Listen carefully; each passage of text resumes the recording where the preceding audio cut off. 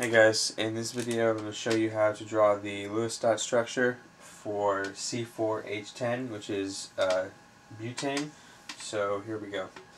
Uh, butane chemical formula is C4H10 and that's going to give us um, four carbons with four valence electrons for each carbon plus 10 hydrogens for in with one valence electron per hydrogen which is going to be a total of 26 valence electrons.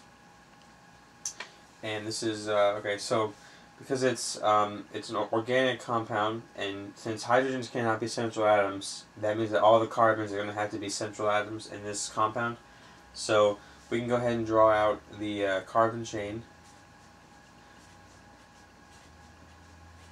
And we have there's the four carbons and we have the 10 hydrogens to attach so we can go ahead and place those. And keep in mind that every carbon needs to have four bonds total or four surrounding um, atoms whether they're carbons or hydrogens. So we can go ahead and connect all these hydrogens with but with single bonds and then we'll see where how many electrons this is so you have 1, 2, 3, 4, 5, 6, 7, 8, 9, 10, 11, 12, 13 bonds. Each bond is 2 electrons, so that's 26 electrons. So this is actually the correct shape. So notice there's 10, 10 hydrogens, 4 carbons, 26 electrons, so, so we're good there. So let's go ahead and check the uh, formal charges on these.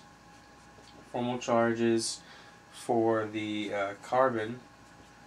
Uh, notice each carbon has 4 bonds, so the formal charge on, on each one should be the same. So carbon brings in 4 valence electrons minus 4 bonds minus 0 non-bonding electrons because they're all just bonds. There's no single electrons, which gives you a formal charge of 0 for each carbon. Now we can check the formal charges on the uh, hydrogens.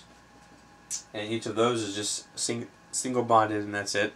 So one valence electron brought in, minus one bond for each, minus zero non-bonding electrons, gives you a formal charge of zero, which is exactly what we're looking for. So when the formal charges are zero and they sum to zero, that's exactly what you're trying to find when you're drawing Lewis structures.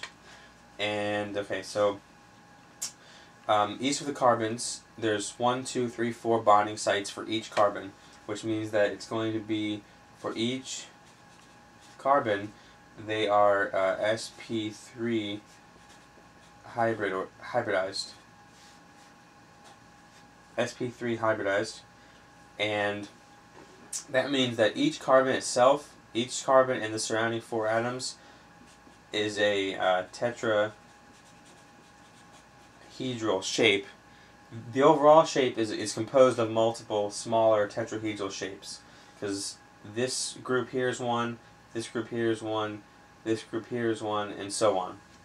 Okay, and um, because this has, this is a symmetric shape where there's hydrogens that, that, that, that counteract each other, they, they all balance out, it's going to end up being a non-polar compound, which is typical with organic compounds such as these with the uh, butanes and the uh, the alkanes with C's and H's, carbons and hydrogens. Um, I think that's pretty much it. If you have any questions, leave them in the comments. If you have any special requests, send me a message. I'll try to put it in a video for you. And thanks for watching.